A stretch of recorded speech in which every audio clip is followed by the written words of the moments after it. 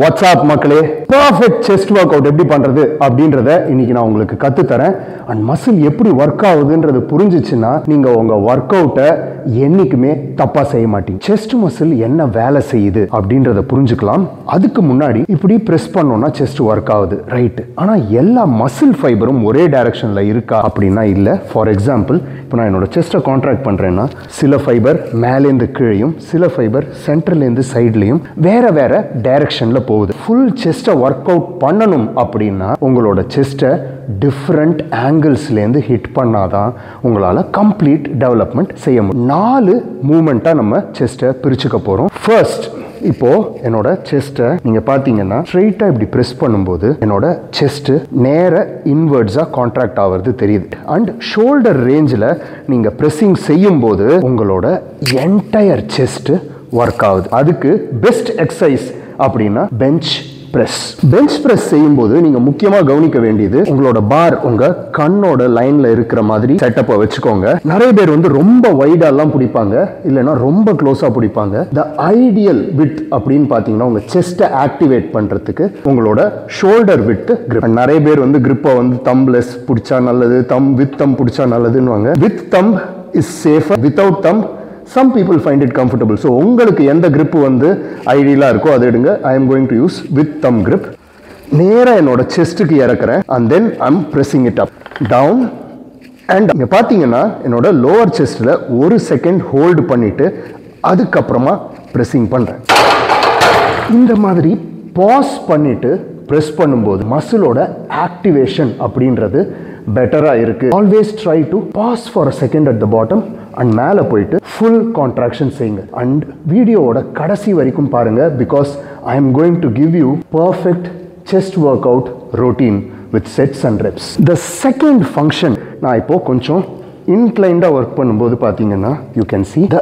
upper chest is working better straight பண்ணும்போது பார்த்தீங்கன்னா entire chest and மேலே ப்ரெஸ் பண்ணும்போது my upper chest is working நிறைய இண்டியன்ஸுக்கு எஸ்பெஷலி நம்ம சவுத் இந்தியன்ஸுக்கு பார்த்தீங்கன்னா thick lower chest and shallow upper chest இருக்கு. ஸோ உங்கள் அப்பர் செஸ்ட் உங்கள் செஸ்ட் ரொட்டீனில் ரொம்ப முக்கியம். ஸோ நம்ம அப்பர் செஸ்ட்டுக்கு என்னோட ஃபேவரேட் எக்ஸசைஸ்ன்றது டம்பல் ப்ரெஸஸ் அண்ட் இந்த டம்பல் ப்ரெஸஸ் பண்ணும்போது செட்டப் ரொம்ப முக்கியம். நிறைய பேர் வந்து டம்பல் ப்ரெஸ்ஸில் வந்து இந்த இன்க்ளைனை ரொம்ப ஹையாக வச்சிருவாங்க. இன்க்ளைன் நம்ம பண்ணும்போது அப்பர் செஸ்ட் ஒர்க் ஆகுது. ஆனால் ரொம்ப இன்க்ளைன் போச்சுன்னா ஷோல்டரில் ஃபுல் லோடு விழுந்து thirty to forty five degree நம்ம செய்யும்போது நிறைய பேர் ரொம்ப இப்படி வைடாக ஓப்பன் பண்ணுவாங்க. That is not safe so கொஞ்சம் எல்போஸ் பாயிண்டிங் டவுன்வர்ட்ஸில் ப்ரெஸ் பண்ணும்போது உங்கள் செஸ்ட்டில் மேக்ஸிமம் ஆக்டிவேஷன் இந்த எக்ஸசைஸில் காமனாக நிறைய பேர் பண்ணுற மிஸ்டேக் என்னென்னா இப்படி அவுட்வேர்டாக ப்ரெஸ் பண்ணுவாங்க. உங்கள் செஸ்ட்டில் கான்ட்ராக்ஷனே சரியாக நடக்காது. Going inwards always works and இன்னொரு தப்பு என்ன பண்ணுவாங்க அப்படி போய் டம்முன்னு இடிப்பாங்க. அப்படி இடிக்கும் போது இன்ஜுரிக்கு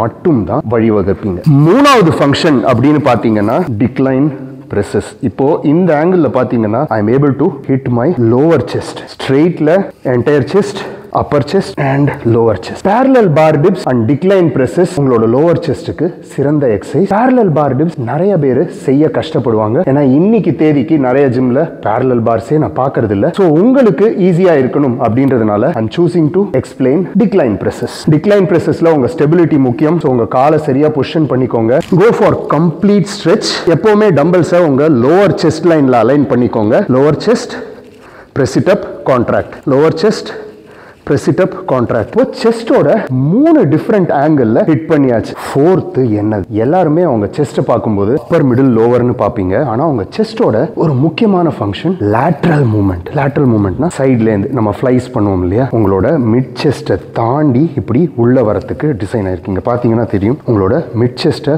மேக்ஸிமம் கான்ட்ராக்ஷன் வந்து உங்களோட மிடில் லைனை கிராஸ் பண்ணும்போது தான் வருது. We need a movement for this middle chest என்னோட favourite exercise cross over cross ஓவரை பல ஆங்கிளில் பல விதத்தில் செய்யலாம். என்னை பொறுத்த வரைக்கும் த மோஸ்ட் எஃபெக்டிவ் வே அப்படின்றது உங்க கேபிள் கிராஸ் ஓவர் மிஷின்லேருந்து ஒரு ஒன் ஃபீட் முன்னாடி வந்துட்டு ஒரு forty five degree angle bend பண்ணிட்டு எல்போஸா பாயிண்டிங் அவுட் அங்கேருந்து இப்படி வந்து சென்டர்ல பண்ணும்போது you are squeezing the centre and அதை தாண்டி இப்படி போகும்போது you are squeezing it beyond the point maximum contraction போகிறோம் இதுல ஒரு செட் வந்து ஃபுல்லா ரைட் ஆர்ம் ஃபார்வர்ட் ஒரு செட் லெஃப்ட் ஆர்ம் ஃபார்வர்ட்னு பண்ணலாம். One right and one left அப்படின்னும் பண்ணலாம். இன்டர்நெட் எக்ஸ்பர்ட்ஸ் என்ன சொல்லுவாங்கன்னா ஏஎம்ஜி டெஸ்டிங் எல்லாம் பண்ணி பார்த்தா பெஞ்ச் பிரஸ் விட கேபிள் கிராஸ் ஓவர் தான் சிறந்தது. அதையே யூஸ் பண்ணுங்க உங்க செஸ்ட் டெவலப்மெண்ட்டுக்கு அப்படின்ற புண்ணாக்கெல்லாம் பேசுவாங்க. ஆனா ஒரு விஷயத்தை புரிஞ்சுக்கோங்க. ஏஎம்ஜி டெஸ்ட்ல செஸ்ட் மசிலோட ஆக்டிவேஷன் அப்படின்னு சொல்றாங்க. நான் என் வெறும் கையை வச்சு என் செஸ்ட் ஆக்டிவேட் பண்ண முடியும். கேபிள் கிராஸ் ஓவர்ல இந்த மிட் ரேஞ்சை கிராஸ் பண்ணும்போது என்னோட ஆக்டிவேஷன் நிறைய இருக்கு. ஆனா அதனால என்னோட கம்ப்ளீட் செஸ்ட் டெவலப்மெண்ட் நடக்குமானா கிடையாது. பெஞ்ச் பிரஸ்னால உங்க செஸ்ட்டுக்கு